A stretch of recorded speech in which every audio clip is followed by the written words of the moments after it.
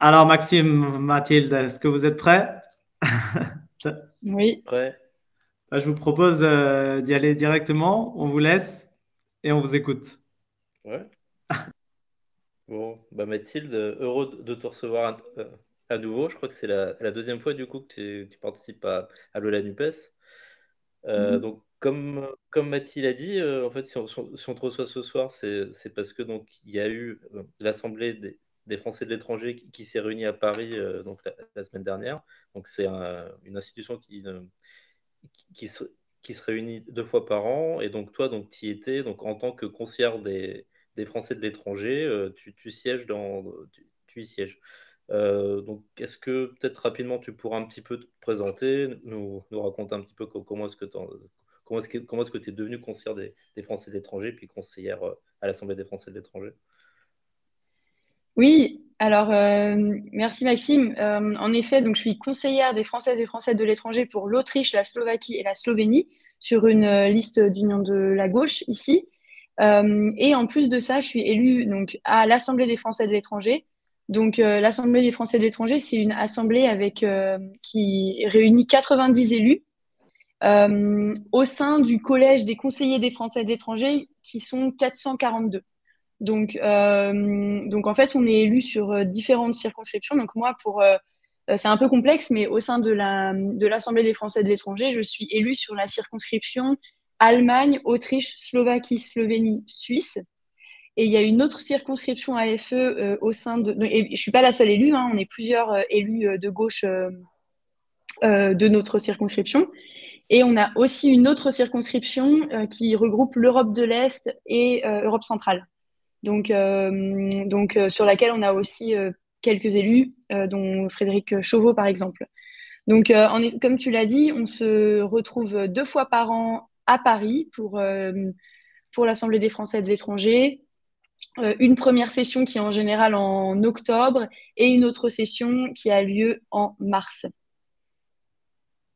Ok. Et donc entre ces deux sessions, ça, ça, ça se passe toujours un petit peu pareil ou il y a, des spécificités Alors en fait, entre les sessions, on travaille au sein de nos commissions. Et oui, c'est vrai que c'est un élément que j'ai pas mentionné en termes d'organisation de l'Assemblée. En fait, on travaille. euh, donc l'Assemblée, elle est organisée en fait en différentes, euh, en différents moments.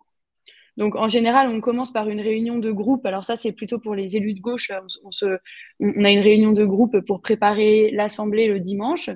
Et puis ensuite, on a différents moments, des moments en plénière, notamment euh, euh, le lundi où euh, on, on accueille le ministre des Français de l'étranger qui vient et, participe et, euh, euh, et fait un suivi en fait de nos dossiers. Et puis ensuite, on travaille en commission. Donc, euh, il y a six commissions au sein de l'AFE. Donc, euh, une commission. Alors, moi, je siège en commission finance, mais il y a aussi la commission des lois, une commission enseignement, une commission affaires sociales, euh, sécurité et prévention des risques, et développement durable et, co- et commerce extérieur. Donc, euh, voilà toutes les commissions. Euh, et donc, entre les sessions, on travaille au sein de nos commissions pour, pour faire le suivi des dossiers, des résolutions qu'on a adoptées, et puis aussi pour discuter de l'agenda et des personnes qu'on souhaiterait inviter lors de la session suivante. Parce que ça arrive souvent, en fait, assez vite, tous les six mois. Ouais, finalement. Et du, coup, tu as dit que tu n'étais pas la seule élue de gauche, j'espère bien. Euh, mais euh, et donc, c'est à peu près quoi le rapport de force dans, dans cette assemblée? Vous êtes, vous êtes com- combien d'élus de gauche? euh? Alors, on est 30, on est 30 élus de gauche, donc on est regroupés, en fait, on a vraiment réussi à se regrouper dès la première session dans un groupe d'union de la gauche, ce qui nous permet d'être vraiment un groupe pivot pour cette assemblée. Euh, et ça nous a permis dans les négociations, en fait, on est le plus gros, actuellement, on est le plus gros groupe de l'assemblée, et ça nous a permis, euh, lors des négociations pour euh, un certain nombre de postes, de, de, de, de, s'assurer d'un certain nombre de positions au sein de l'assemblée on a par exemple la vice-présidence de l'Assemblée. On a aussi des membres du bureau. Alors moi, je fais aussi partie du bureau de l'Assemblée des Français de l'étranger. Euh, et puis, on a aussi des présidences et des vice-présidences de commission. Par exemple, on a la présidence de la commission Affaires sociales avec Florian Bohème et la présidence de la commission Finances avec Renaud Lebert. Ok. D'accord, très bien. Bon, et alors donc concrètement, la, la semaine dernière, comment, comment ça s'est passé alors? Raconte-nous un petit peu. Euh, alors, euh, on a commencé le lundi. Pour... Alors, je vais vous parler un petit peu de ma semaine. Ça dépend des, élus, ça dépend des différents postes qu'on a au sein de l'Assemblée. Euh, moi, comme je suis membre du bureau, j'ai aussi un certain nombre de, tâches reliées à cette fonction au sein du bureau de l'Assemblée. Mais donc, par exemple, moi, j'ai commencé la semaine par un groupe de travail au Sénat sur la représentation des Français de l'étranger et sur notre, notre mandat à nous d'élus. Donc, euh, donc euh, là, l'objectif, c'était de faire remonter les problématiques que l'on rencontre. Euh, ensuite, on a organisé avec le groupe de gauche une conférence de presse, une table ronde avec différents syndicats. L'objectif, c'était bien sûr, dans le contexte social actuel, de bien inscrire cette session euh, dans les combats de la gauche euh, et dans la mobilisation de la gauche pour la réforme contre la réforme des retraites. Donc, euh, donc c'était très important pour nous d'organiser cette conférence de presse avec les syndicats et pour aussi porter un certain nombre de messages qui sont importants pour, pour nous et sur lesquels on s'est mobilisé ces derniers mois pour la, sur la réforme des retraites globalement et sur les problématiques que rencontrent les Françaises et Français de l'étranger qui peuvent être particulièrement touchés euh, par certains aspects de la réforme et plus, plus généralement du calcul de la retraite euh, en France. Mm. Donc, donc, voilà, donc ça c'était un premier, c'était euh, c'était les premiers éléments. on a organisé cette conférence de presse et puis ensuite, oui, vas-y. Oui, mhm. désolé juste par rapport aux syndicats. Du coup, tu, tu, tu, les as sentis réceptifs à, à nos problématiques ou oui, bien sûr. Alors, euh, on, travaille, euh, on, travaille de manière générale avec les syndicats. Euh, d'ailleurs, on auditionne les syndicats dans un certain nombre de, commissions aussi de l'Assemblée. mais en fait, la plupart des constats sont partagés, que ce soit sur les réformes hachées des Françaises et Français de l'étranger, sur le calcul de la retraite sur les 25 meilleures années, ce qui pose quand même problème puisque ça amène à ce qu'un certain nombre de personnes aient des, des toutes petites années de salaire qui soient comptabilisées lorsqu'on calcule leur retraite française. Ça, c'est des problématiques qu'on partage. Mais c'est important de se retrouver et, de, et puis euh, de pouvoir échanger euh, euh, ensemble et puis aussi de rendre visibles en fait nos combats, euh, de profiter d'être à Paris et de pouvoir aussi avoir accès euh, aux médias pour aussi en parler et d'utiliser cette session et ce moment un peu politique euh, pour, pour rendre visibles nos problématiques. tu veux que je continue un peu sur euh, le reste de la semaine? Oui, vas-y. Euh, alors, le, le, reste du lundi, on avait le ministre qui venait, et donc bien sûr, toujours en lien avec la mobilisation pour la réforme des retraites. on a vu une, une photo en début d'émission où on a, voilà, celle-ci, où on levait nos pancartes c'était important pour nous euh, de marquer notre opposition à la réforme des retraites euh, en présence du ministre que qu'on voit sur le grand écran euh, tout au fond de cette photo. donc le groupe de gauche s'est levé et puis a montré un certain nombre de positionnements, enfin un, certain nombre de, de messages qu'on porte, voilà, pour défendre voilà, pour défendre les retraites de, nos concitoyens et concitoyennes. Et puis, et puis aussi, lors de, lors de, cette, de cette venue du ministre, on a, on a aussi évoqué un certain nombre d'autres sujets qui sont importants pour nous euh, à l'étranger. Euh, on a parlé, alors spécifiquement sur les retraites, le, ministre Olivier, du Travail, Olivier Dussopt, a, a, annoncé un groupe de travail sur les Français de l'étranger et sur les retraites des Français de l'étranger. Donc, euh, nous, c'était important de mentionner qu'on voulait être associé à ce groupe de travail. On, bah, voulait aussi parler du, GIEC, parce que c'était aussi euh, quelques jours après la publication du rapport du GIEC. Donc, euh, c'était important pour nous aussi de, voir, alors sur nos problématiques de Français de l'étranger et sur notre champ de nos prérogatives, on a parlé notamment de rénovation énergétique des bâtiments français à l'étranger. Euh, c'est un aspect sur lequel on peut avoir un impact, réduire euh, aussi euh, notre empreinte carbone, l'empreinte carbone des bâtiments français à l'étranger.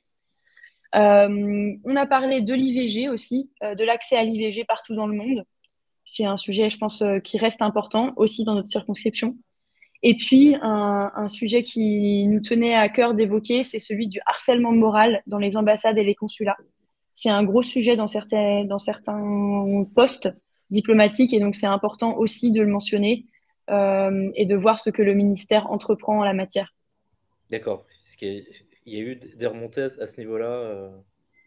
Oui, c'est un, un, sujet. Euh, alors, on a aussi eu une conférence qui était organisée par notre sénatrice Mélanie Vogel avec une avocate spécialisée en fait sur le dans le harcèlement moral dans la fonction publique parce que c'est un vrai sujet en fait la, la manière dont dont les plaintes pour harcèlement moral sont prises en compte dans la fonction publique et notamment dans les ministères et dans l'aspect régalien de la fonction publique.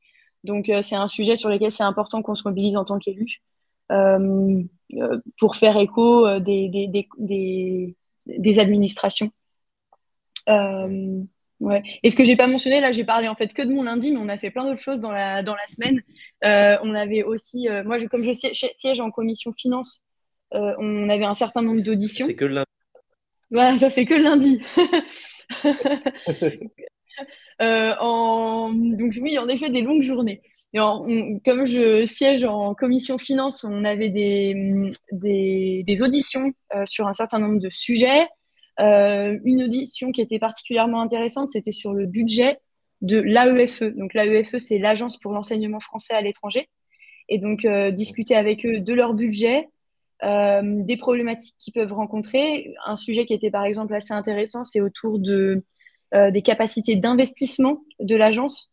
Euh, parce que euh, elle n'a plus la possibilité de, de, de d'avoir des crédits, de, de, faire des prêts.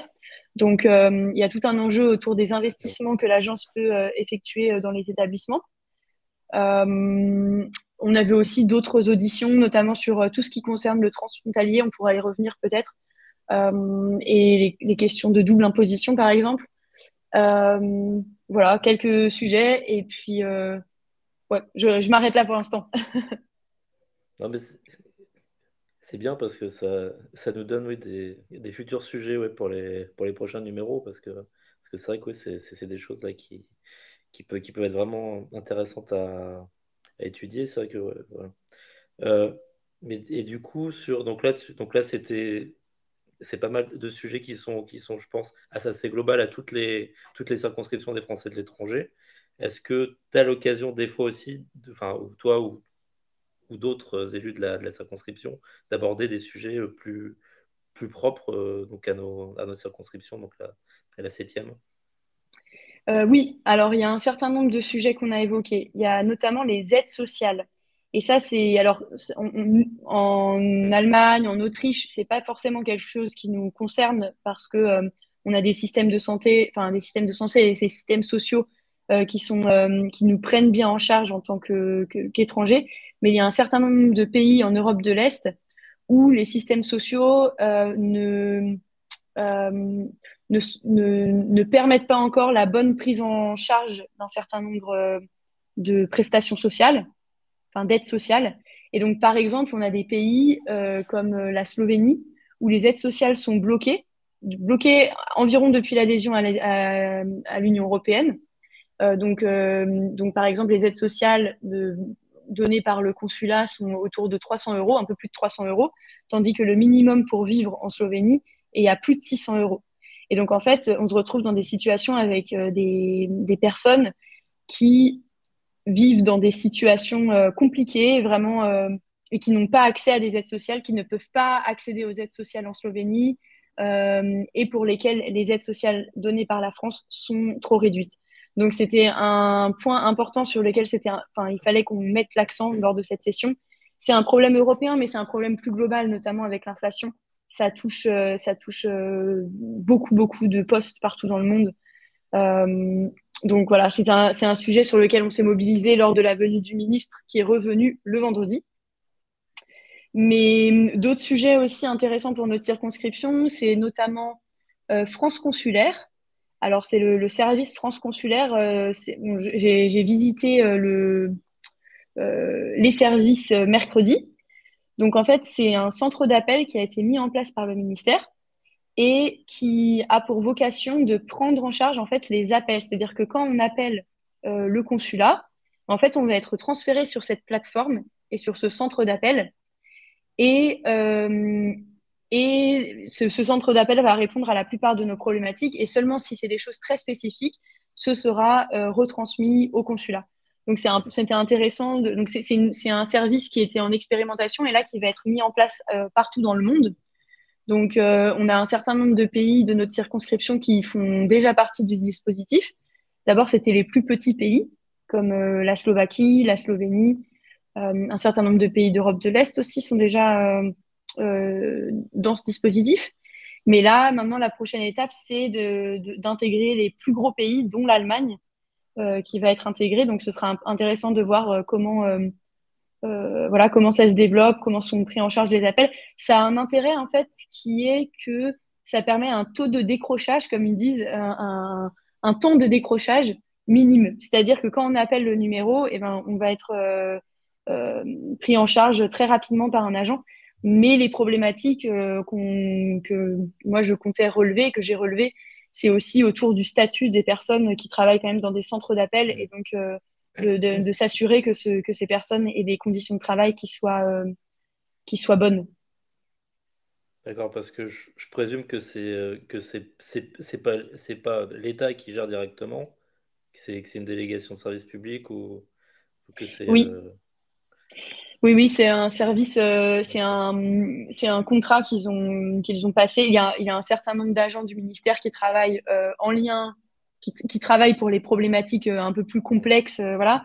Et après, euh, c'est un, ils travaillent avec une, une entreprise qui, qui gère ce, centre d'appel, qui est à la Courneuve, à côté de Paris.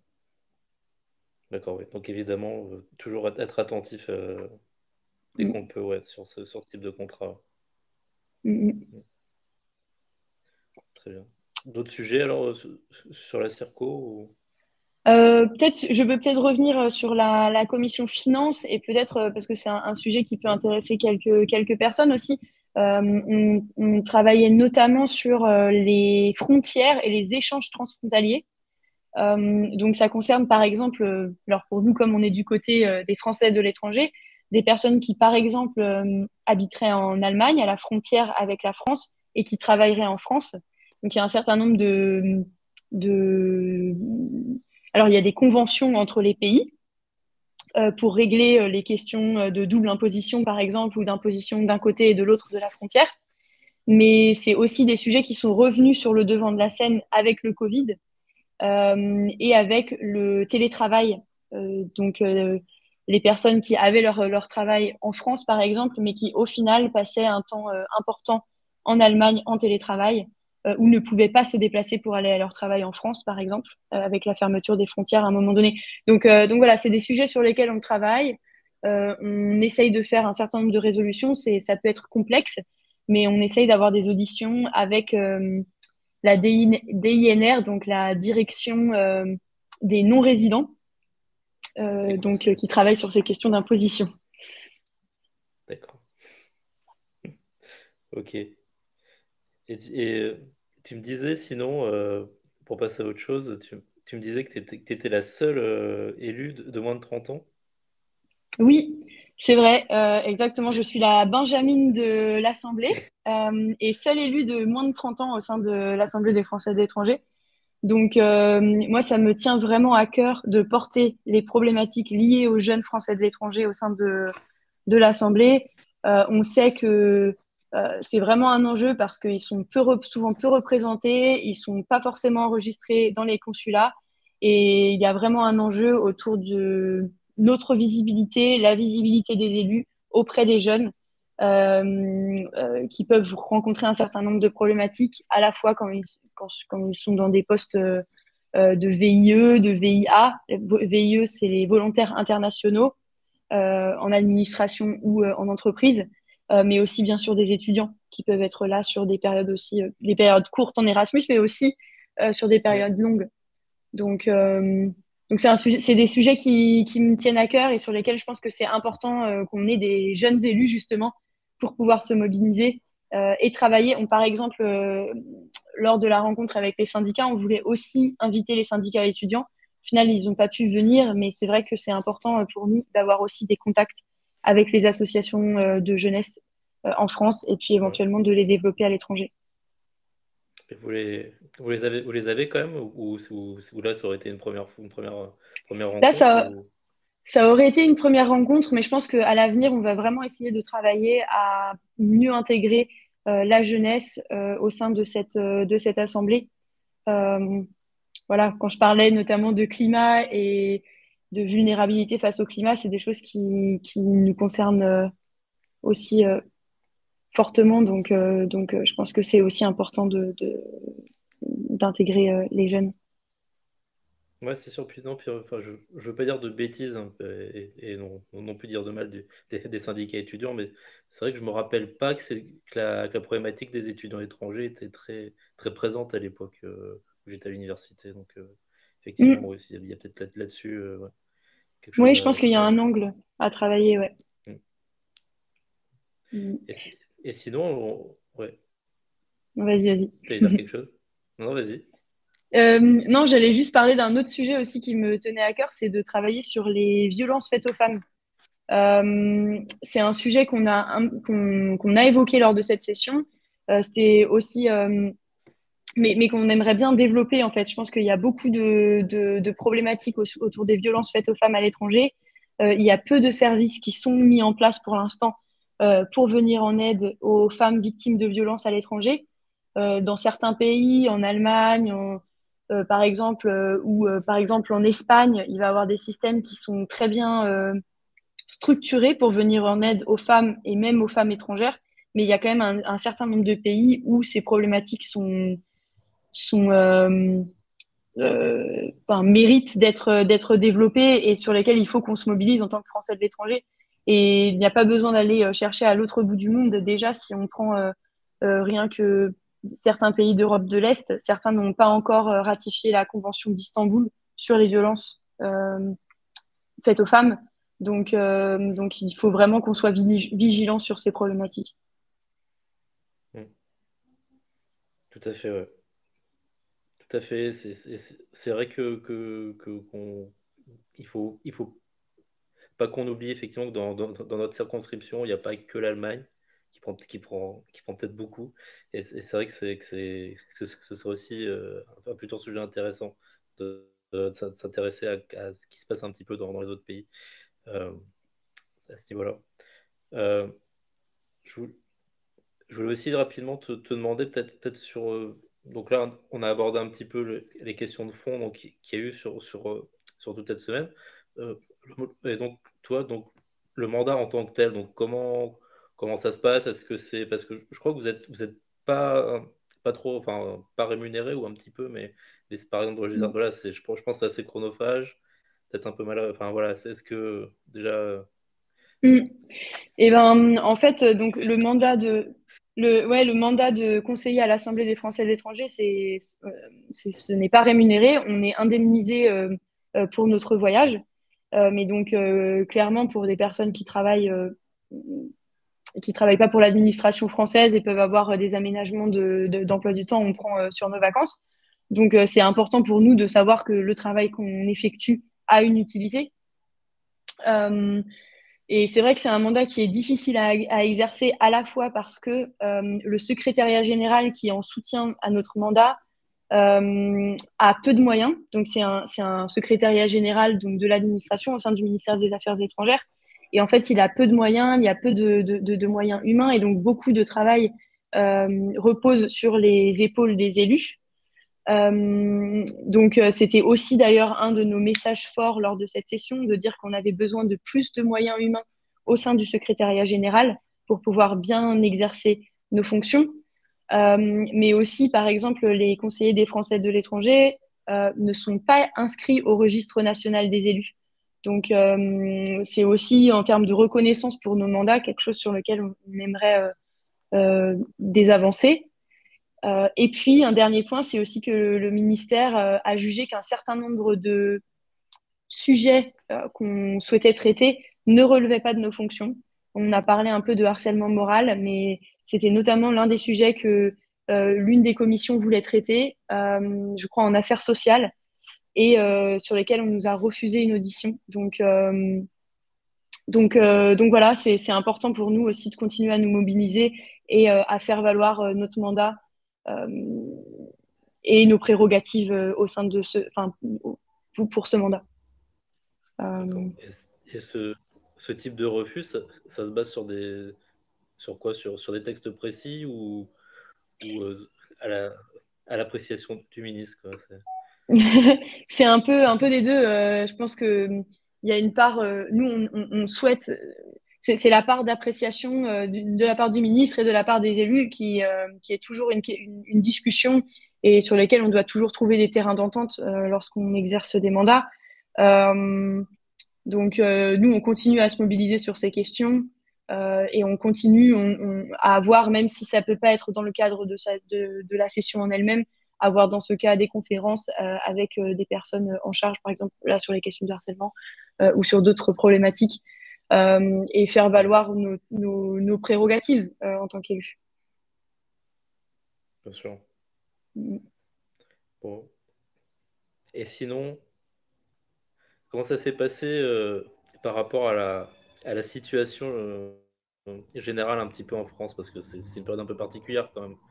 Donc, euh, tu l'as montré tout à l'heure, vous, vous, avez protesté donc, par, des, par des petites pancartes contre l'adoption de, la, enfin, contre le, passage en force hein, pour, pour faire adopter la, réforme des retraites. Et puis, il y a aussi eu, donc on l'a vu, les, les événements à Sainte-Soline. Est-ce que, est -ce que ça, ça a pesé un petit peu sur la semaine ou... Oui, oui, ben, bien sûr, bien sûr. Euh, rien que le fait d'être à Paris, je pense que quand nous, on est à l'étranger, on voit les images depuis l'étranger de la situation en France, mais le fait euh, d'être euh, d'être à Paris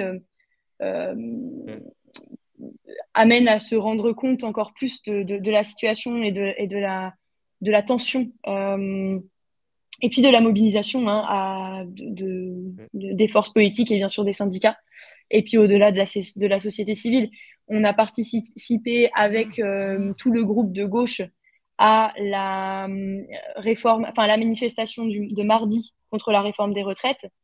Euh, C'était très important pour nous d'y participer tous ensemble.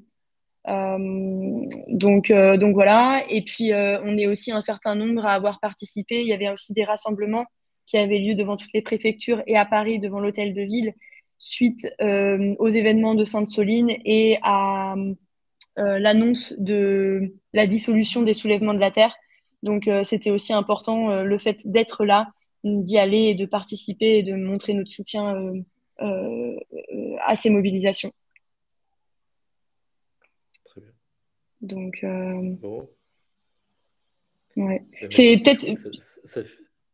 Oui, vas-y, si je peux juste euh, ajouter là-dessus, euh, je pense que c'est vraiment important pour nous dans nos mandats, et puis c'est peut-être un peu ma conclusion, euh, c'est vraiment important. On, se rend compte qu'il y a un certain nombre de sujets qui sont assez techniques sur ce qu'on sur ce qu'on porte au sein de l'Assemblée, et c'est important parce que c'est pas évident les questions de français de l'étranger toujours, mais c'est aussi important pour nous de faire bouger les choses aussi au niveau politique, que ce soit sur les questions des retraites, notamment, euh, ou sur des questions, les questions de climat. Euh, enfin voilà, il y a plein de sujets sur lesquels il faut qu'on se mobilise et qu'on porte notre voix de gauche face à la majorité présidentielle. Bon bah super, merci, merci de nous représenter alors. Et continue le combat alors. merci beaucoup pour tout Mathilde. Hein. Avec plaisir. Comme il disait Maxime, on continue le combat.